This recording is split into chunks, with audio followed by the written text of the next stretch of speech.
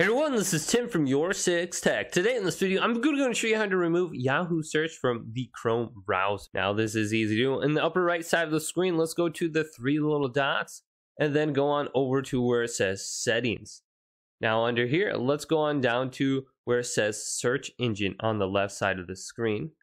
Then we want to go to search engine and change this over to Google. So we may say Yahoo right here, go on over to Google then it says manage search engines and site searches. We can go on down to where it says Yahoo.